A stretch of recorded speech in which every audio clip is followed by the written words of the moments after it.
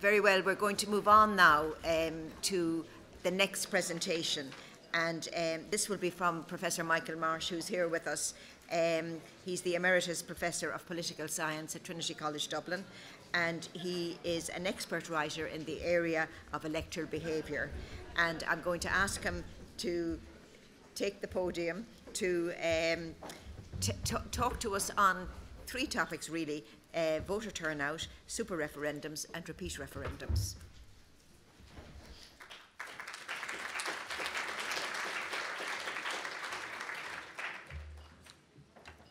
Thank you very much. It's a, a pleasure to be here. Um, being interested in turnout and referendums, it's great uh, to be able to address a, a large audience that's actually interested in these things and don't start yawning as soon as you start talking about it. Now, if I can work out how this button works, I'll be fine. Yeah, there we go. Uh, that was my uh, the list of things I was asked to talk about. Um, the way the world is, of course, uh, that got changed, and I had to talk about some more things. Um, so the original um, uh, six or seven pages I sent round uh, has been added to, and you've got I think, a, a, sort of brief copy of uh, what I'm going to say today, which has the extra bits in. Now, turnout is something that uh, people agonize about with uh, all elections. Are enough people voting? Um, some people used to say when there's not enough people voting, it just means they're quite happy with what's going on. It's not a bad thing. Turnout was enormous uh, running up to the election of Hitler. So was that good or bad? Uh, high turnout tends to mean that that politics is quite antagonistic and people care a lot about the outcome. When they don't care much about the outcome, when they're arguably happy enough either way, then they don't turn out. Anyway, why is more, one person more likely to vote than another? And there are three types of reasons. One uh, has been advanced quite often is that people simply feel they ought to. They have a sense of duty. We all have sense of duties to do all sorts of things, sometimes that we don't want to do, but we sort of do it out of duty. Not coming to talk about referendums, but you know, when, when one is asked, uh, it's a good reason. Um, the second is they care about the outcome, as I mentioned. That's, that's why you vote, because you actually care who wins or what the outcome is. And the third important contextual thing is convenience. Would you go and vote if you had to travel a thousand miles and queue for a day? The first elections in South Africa, people were queuing for hour after hour after hour. If you had to do that here, turnout would be very low, but people really cared, they wanted to vote, they didn't mind. Is the cost of voting high? Little things. Can you get on the electoral register easily? Uh, how accessible is the polling station? Is it close? Is it a long way? Will I have to wait? What day or days can you vote? And can you vote early? Different countries have different rules about these things, and it has to be said in some countries it's a lot easier to vote than in others. Can you vote by post or even by internet? And if so, in what circumstances? We are relatively restricted in these things. Now, why is a person more likely to vote in one election than another? When we look at our elections, we see turnout is higher in some than others. It's higher in some sorts of elections than others. It's lower in local elections than national elections. It's lower again in European elections. So we have European on the elections on the same day as local elections to make sure that people vote in European elections. So we look good for our European neighbours. Um, duty sense probably varies across votes when people are asked. They give different answers to different sorts of elections. Some votes are simply more important than others. Some elections are more important than others. I remember the 2011 election, which many people thought was quite an important election. They, people wanted to say something, they wanted to make sure that those who were seen as responsible for the crisis got their just desserts. I remember my wife went to vote quite early, um, just after seven, and there'd already been somebody in who was emigrating to Canada. But he'd gone in and voted before he went. Now, my guess is he probably didn't vote for the current government, or at least what was then the current government, but it, he clearly cared. Uh, sometimes the campaign is stronger. If the campaign is stronger, turnout's higher. All other things being equal. There are lots of variations, but turnout does vary. And convenience varies, uh, probably varies from time to time, and rule changes can affect convenience. But these cost elements tend to be important for people who usually vote. They don't say they vote every time, but they, they think of themselves as voters. People who don't vote, the convenience is not going to make much difference to them. So you can say to someone who's never voted, oh, you can do it by internet. But they've never voted. They still won't want to vote. That's what the evidence suggests. Now, how about information? Uh, there's been a lot of talk about information. Level of information is typically related to turnout. Here's a couple of very simple uh, graphs. Uh, the Lisbon I Treaty, people were given a, four questions about the EU. Did they get all four right or did they get none right? And uh, can we guess how likely they were to vote by how many they got right? And the answer is yes. Those who got none right were pretty unlikely to vote. Those who got all four right were very likely to vote. They were more informed. Probably they were more interested. Probably they cared more. Is that a bad thing? It's probably a bad thing that people have low information, but is it a bad thing that people with no information don't vote?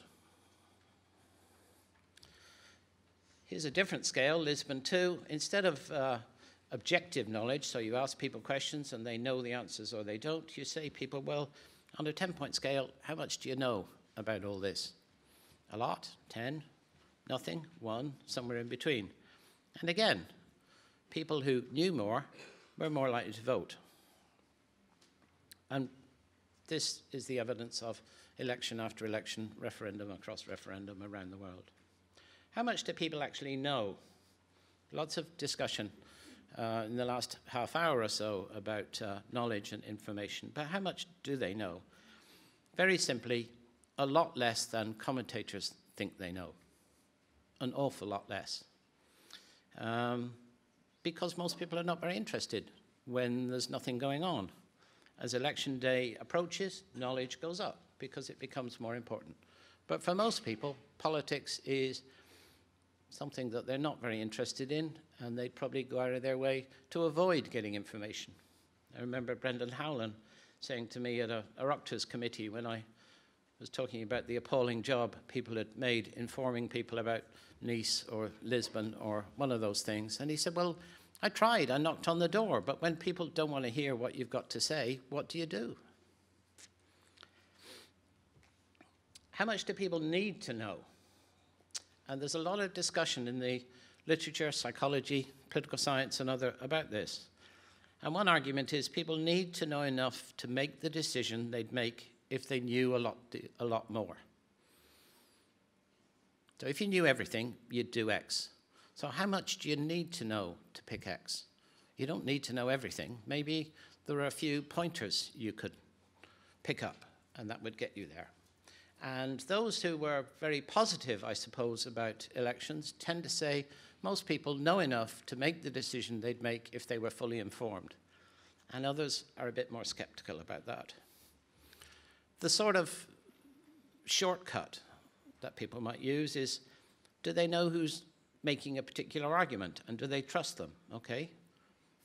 I, I think so and so is very trustworthy. I think they've done a great job. I like what they've done. If they say vote for Nice, that's good enough for me. I'll, I'll do that. I heard a vox pop with someone in the Falls Road, uh, I think before the Brexit referendum, and he was asked what he was going to do, and he said, well, I don't really know anything about this, but David Cameron's for it, that's enough for me, I'm against it. No one told him, I think, that Gerry Adams was uh, against it, but anyway. Enough to link the decision to people they trust, or sometimes don't trust, or to relatively strong underlying opinions and values. So it's argued in, the in Denmark, which I think is a better case than Ireland, people know more about Europe and they feel more strongly about Europe. So when a referendum comes up, which is about single currencies or uh, particular treaties, they have a set of opinions and attitudes that are reasonably stable that they can link that to. If a, if a referendum comes up that you can't link to things that you know you've got views on. It's a bit harder to know where you stand. A very cautionary tale about a low information vote. Uh, we did a study after the Oireachtas inquiries referendum. Uh, the study was done three or four weeks afterwards, but um, around half of the people we spoke to couldn't tell us who argued yes, couldn't tell us who argued no, couldn't give us any arguments for a no, couldn't give us any arguments for a yes, couldn't explain why they voted yes, and couldn't explain why they voted no. Now, that took place at the same time as a presidential election. I think many people had, perhaps didn't realize there was a referendum going on at all. But it's a cautionary tale if we're going to decide what we do by referendums that so many people arrive there with such uh, unformed opinions. Now, the Irish referendum experience, and I'll do this fairly quickly uh, turnout. There's turnout in elections. It's gone down at least we think it's gone down. But as an Oireachtas committee pointed out a year or so ago, nobody believes the electoral register anyway. So we have to take turnout figures with a bit of a pinch of salt. Maybe they used to be very good, but we now know they're not. There's uh, referendums where there's just one referendum at once. Uh, I put the names of those referendums on. I realize if you're a very clear sighted and sitting in the front row, you might be able to see those. Otherwise, you won't, but they're on the bits of paper you've got. But basically, they're, all the blue ones are the one referendum at a time referendums. The purple ones are the two or three referendums at a time. I was asked to talk about these. Did it make any difference to turnout? Well, there's turnout in elections. We know that referendum turnout tends to be lower. There's the turnout, the blue line, when there's only one referendum, and the pink line, when there's more than one. Now, I've excluded cases where there's a general election or a presidential election at the same time. Um, but certainly it doesn't make a strong case that if we have three referendums, we'll get a higher turnout than if we only have one. Some of them are very close. Are they close when there's high turnout or low turnout? Neither. Uh, we've had close ones with low turnout. We've had close ones with relatively high turnout. But we've certainly had quite a few referendums where a little bit extra turnout might well have made a difference uh, one way or another. Uh, Seanad abolition, um, abortion, I think in 2001, cabinet confidentiality, doing away with the electoral system, though that was quite a high one in, in uh, 1969, I think, and divorce in uh, 96. Generally, there's lower turnout in referendums than in elections. Duty is lower, perception by voters that these things are important, and campaigns are less vibrant. Uh, parties, particularly activists, are much less involved. It's interesting that the pattern of turnout is very different, uh, particularly the Western rural areas have very turnout in elections and poor turnout in referendums. Places like Laoghaire tend to come top of the list when it comes to referendums, but not when it comes to elections. Their turnout is about the same in both, but a lot more variation elsewhere. Do multiple elections help turnout? There's no evidence that they do, and if anything, um, uh, no, they don't. But when you have two elections on the same day, do, do people distinguish them, two referendums? Uh, yes, they do. Uh, again, I'm afraid apart from those in the front row, you can't see which ones those are, but where two dots are joined by uh, a dashed line, that shows the difference between the yes vote in two on the same day. The first two points there have no dots. And if you're really right at the front, you might see that those labels are a bit more blurry than the other labels. And the reason they're a bit more blurry is the dots. There are two dots and they're in marginally different places. But essentially, the first time two questions were asked, in the first two times uh, that happened, people gave exactly the same answer to both of them. Uh, The first time, arguably, it was all about changing the electoral system, and that made sense. The second time, it was about um, religious recognition of different religions in the Constitution and voting at 18. Two things that seem to have nothing whatever to do with one another. But if people said yes to one, they appeared to say yes to the other. Uh, but now there's quite a lot of discrimination, and uh, people can, as they did on same sex marriage, say same sex marriage good, yes Presidents aged 18, no. We also have repeat referendums. Uh, views vary about how many of those we've had. Nice, certainly that was, most people would say, a repeat referendum. And Lisbon, I think divorce was a repeat referendum. It was essentially the same question twice. Um, some people might think we've had a lot of referendums on abortion, but you might say they're all so different. Uh, they're not repeat referendums. What happens? Well, in three of them, uh, the yes vote went up and the turnout went up. So the first one, uh, I don't know whether I have a little dot on this. No, no, I don't. Anyway, the first one uh, on the left hand side, Nice 1 to Nice 2.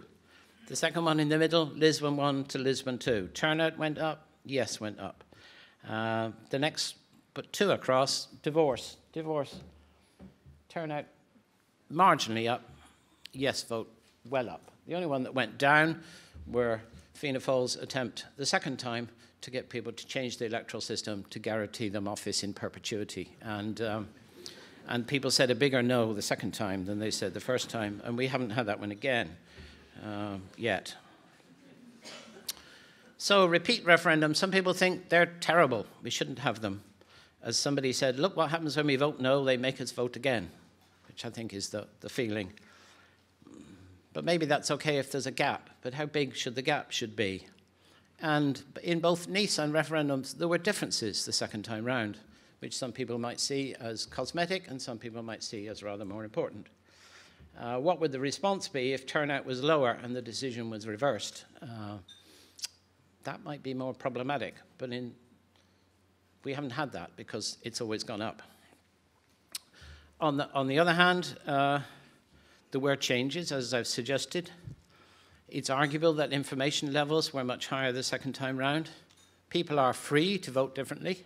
It's not a big cost, they just have to turn up and vote again. Uh, turnout went up, so clearly people weren't too upset by having to go out again. Uh, the electorate endorsed it, and it happens elsewhere. Uh, Denmark had two votes on Maastricht. Quebec has had more than one on independence. Uh, there were many votes all over the world on prohibition. So, make your choice. Experience from elsewhere. Um, multiple referendums.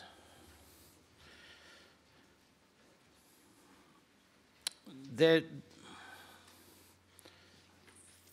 there are not many countries that have held a lot of constitutional change referendums on the same day. The, the best example is Australia, and they haven't done it this century. But they did used to ask people to vote on many items, um, sometimes severally, and once with five questions on the ballot. More commonly, and Theresa Reidy will talk about this later, um, there are countries where a lot of things on the ballot are citizens' initiatives, so they're put on, as uh, I think one of the questions uh, indicated earlier. Uh, they're put on by 50,000 or 100,000 citizens. They're not necessarily constitutional, um, but sometimes they are. But typically they're more policy ones. Italy, Switzerland, most US states, but not the US at federal level, allow these initiatives, and they're very common at local level. And typically, where they do happen, you have a lot at once. Oregon once had 28 at once. So you turn up for an election, to vote for the president and the local rat catcher and everything else that you vote for at the same time, and you've got 27, 28 initiatives to vote on. So elections are interesting there.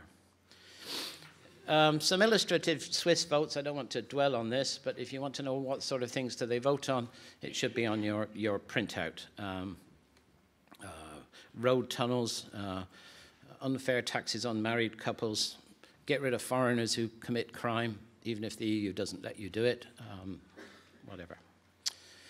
Uh, California, another place uh, with initiatives, um, had 17 in 2016 when they turned out to vote for Hillary, which they did.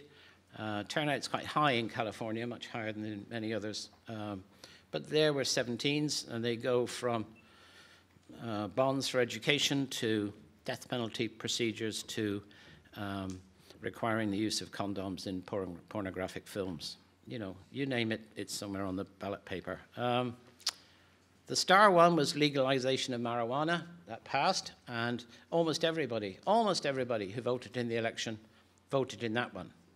On the death penalty, penalty procedures, 1.2 million less. So having turned out, they still didn't vote on that one. But you know, the drop-off was not small. California tends to be quite small, but in some other states you can see it go up to 15 or 20 percent, or even more. Fewer people voting on, uh, on the initiative than vote in an election. Now, what does all this experience tell us? Uh, people make different decisions on different items, as they do in Ireland. Some initiatives pass, some fail. Turnout's variable. Uh, the Swiss, I've seen good Swiss analysis to show it relates to the salience of the item, which is now earth shattering. The more important it is, the more people vote.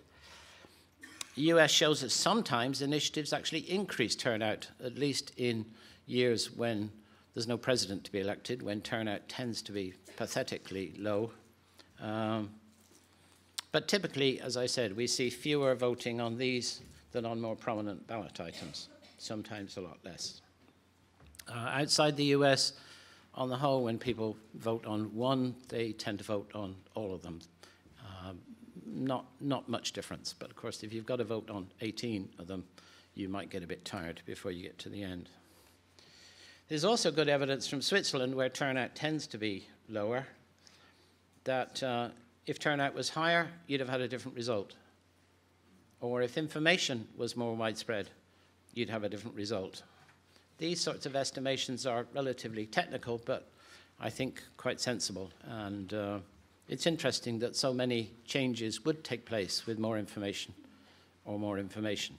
Not always in the same direction, not in terms of more liberal or less liberal, more right or less right, uh, just differences.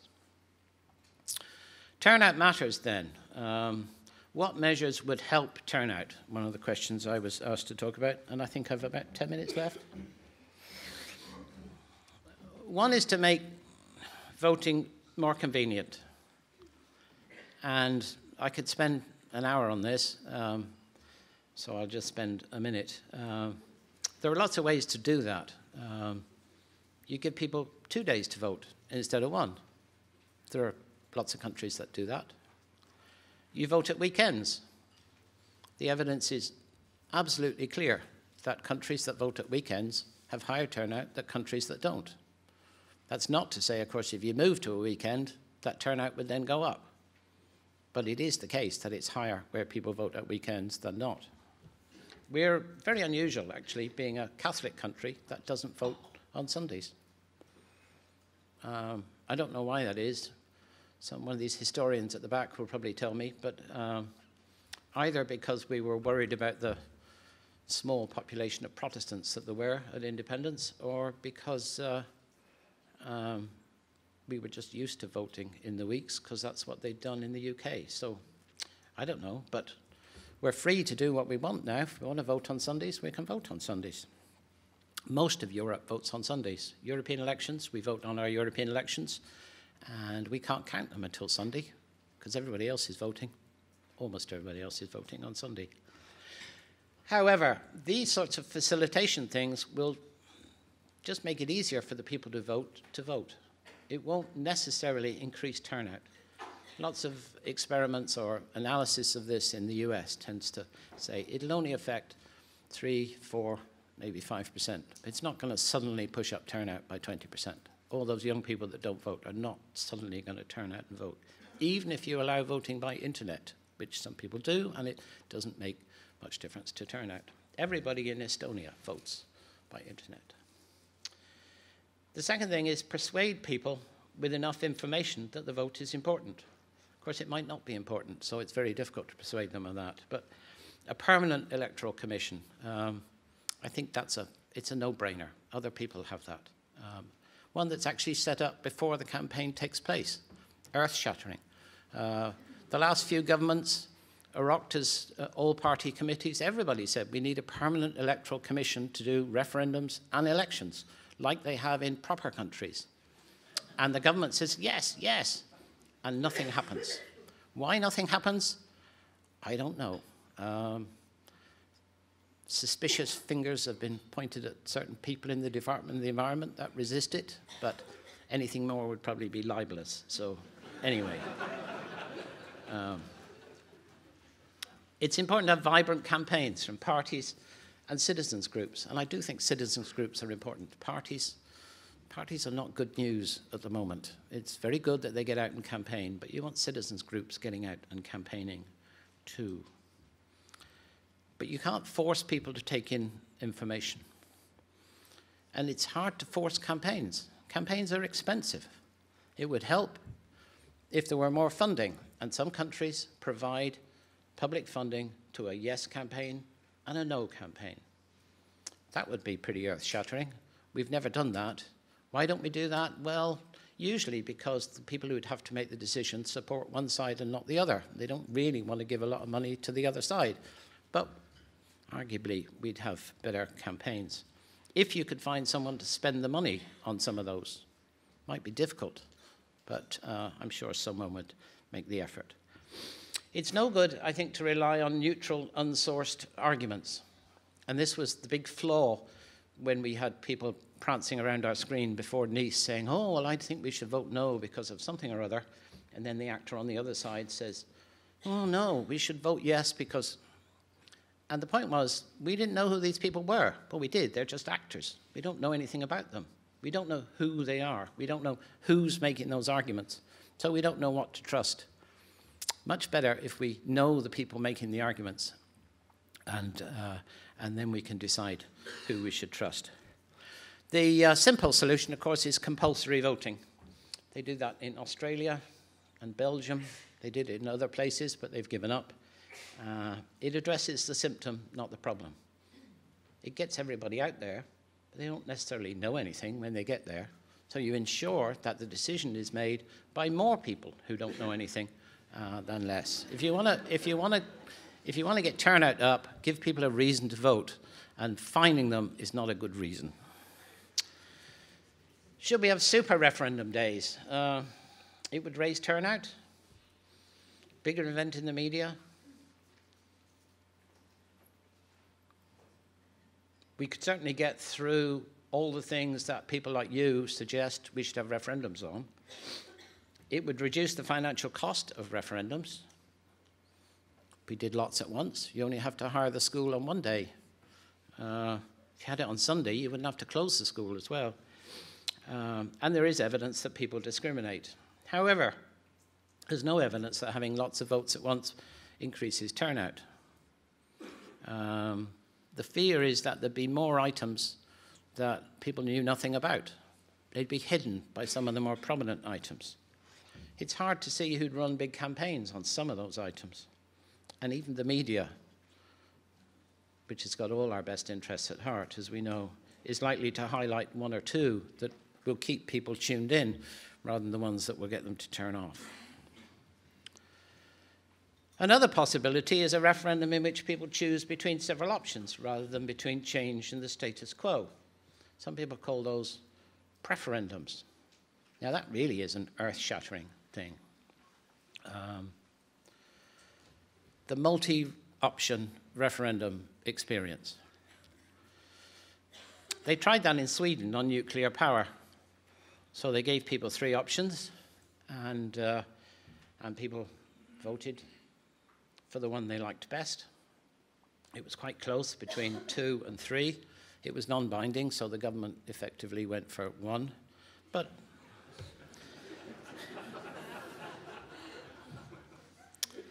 but it was quite close. Um, and arguably, one and two were, were closely related.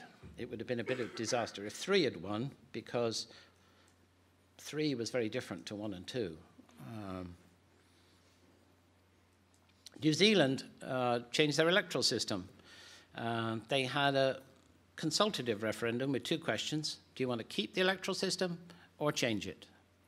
And then the second question was, what do you want to change it to? And there were four options. And there was lots of information, so people voted. And, uh, and, they picked, and more people picked one system than, uh, than, uh, than any other particular system. The next year, they had a binding referendum with two options. Do you want the old system, or do you want the new system that most people liked last year? And they went for the change.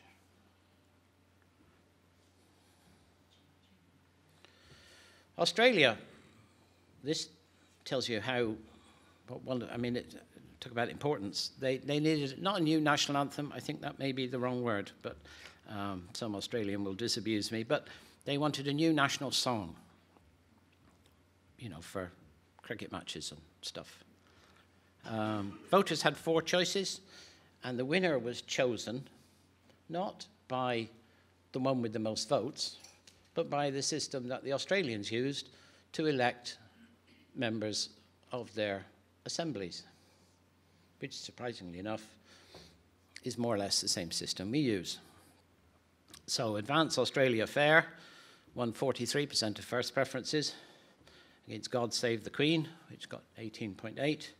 And when the votes were redistributed, presumably Waltzing Matilda was eliminated. I don't know why they didn't pick that one. Um, and if that didn't do the trick, then the Song of Australia got it through. Now, one might say um, here's, here's an example of how well the system works. I might say, how could they pick Advance Australia Fair over Waltzing Matilda? I don't know, but there you go. Advantages and disadvantages of these. Um, an Oireachtas All Party Committee considered this. Um, they said it was too complicated for you, really. You wouldn't understand it. Um, referendums are on complex issues. Preferendums introduce even more complexity, they said. There's the possibility of confusion. A simple majority system could easily lead to results which a majority oppose strongly. I'd certainly agree with that. Um, an all party report said it was impossible to devise a satisfactory method of weighting voting preferences. Presumably, the system that elected them was no good. or the system they use for Eurovision Song Contest. There's, there's something nobody knows anything about. Um, that was too complicated. At a referendum, there's a majority one way or another. A referendum might result in an option which did not obtain the support of the majority. No, not if you used a PR system. How would the set of proposals be decided? That's probably a bit more difficult. They worried about finding a majority one, splitting it up so that it no longer got a majority. But again, that only really applies if the one with the most votes wins, as opposed to um, a more proportional system. Four, we could say uh, we don't need many options, just a reasonable choice. Let's say three rather than effectively the two that we always have at the moment. Maybe sometimes four, but we don't need 27 options. And the Australians did manage to pick between four songs. Different groups could campaign for different options and would no doubt say, and if we don't win, then pass it on to option three. Concerns about weak majorities just don't apply if you use PR, which is probably not too complicated for the Irish voter. A majority for a single question simply means a preference over that alternative. It doesn't remove the possibilities and it removes the need to try and identify an option that it's believed commands majority support. And if you want an illustration of that, um, the discussion over the next referendum on abortion is a classic. Probably most people want to see a change. They want to find something that a majority will agree with, but they're not quite sure what that is. Well, if you could have two or three options, instead of just the one, it might be easier to find out what the people actually would consider supporting. In summary, then, uh, turnout's lower in referendums than elections. Sometimes it's very low, sometimes that makes a big difference. There are no simple ways to increase it, but there are lots of ways in which we might push it up a little bit. We could make voting easier and improve campaigns. In Sweden, most people have voted before an election comes along by post. If you change your mind, then you send in another one and they delete the first one. It's not rocket science. Holding multiple referendums does work, I think. It doesn't do much for turnout, and some items almost certainly get overshadowed. Repeating referendums upset some, but voters seem to respond positively. I think the evidence is that voters don't mind multi-option referendums, I think are worth looking at seriously uh, using PR. Thank you.